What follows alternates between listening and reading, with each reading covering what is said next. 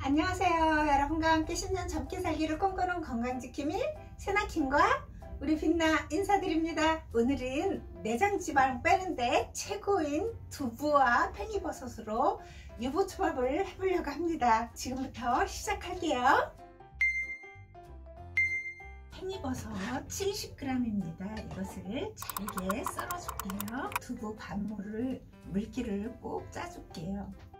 면포에 넣고 많지 않으니까 안에 넣지 않고 그냥 이렇게 짜줄게요.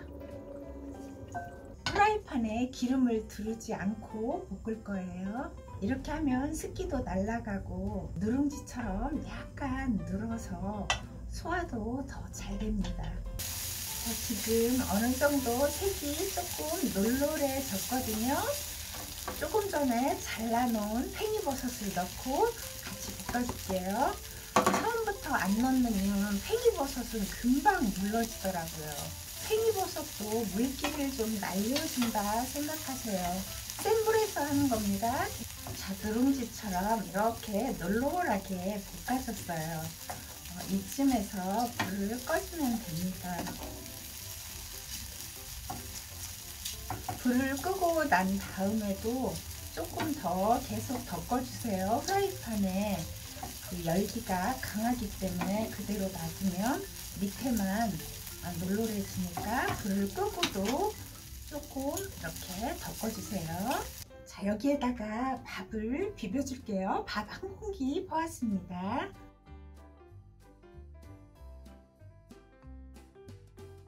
저는 검정깨만 조금 더 첨가를 해줄게요.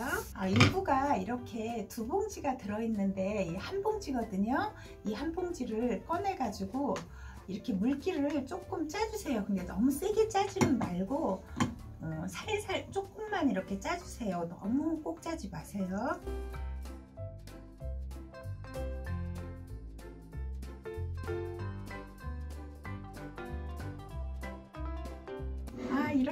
다 만들어졌습니다. 너무너무 예쁘지 않나요? 맛있어 보이고.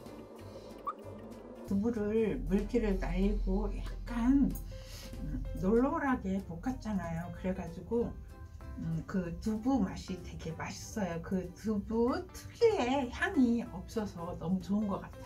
아 제가 먹는 건 여기까지 할게요. 정말 두부하고 어, 팽이버섯 넣고 제가 하는 것처럼 이렇게 해서 드셔보세요. 그러면 내장지방 빼는데 아주 최고고요. 어, 무엇보다 요즘 봄날이라서 안 그러신가요? 저는 입맛이 없더라고요. 어, 이렇게 해서 어, 밥을 먹으면 건강에도 많은 도움이 될 것 같고요. 단백질도 아주 풍부해서 근 감소 예방에도 많은 도움이 될 것 같고요. 이렇게 어, 한 반쯤 드셔도 살 절대 찌지 않으니 죄책감 갖지 마시고 배가 약간 부르다 할 정도로 드셔도 소화 잘 될 겁니다. 식초가 들어가서. 어, 그럼 저는 먹는 것은 혼자 할게요. 그리고 이거 먹고 우리 빛나하고 산책 2시간 할 겁니다. 여러분들도 식사하시고 꼭 어, 1시간 정도 걷기 꼭 해주세요. 그래야 5060 세대 이상이신 분들은 체력이 튼튼해지고 뼈도 튼튼해져서 100세까지 아주 건강하게 살 수 있습니다. 올봄 이렇게 제가 만들어 드리는 대로 드시고 다이어트 꼭 성공하세요.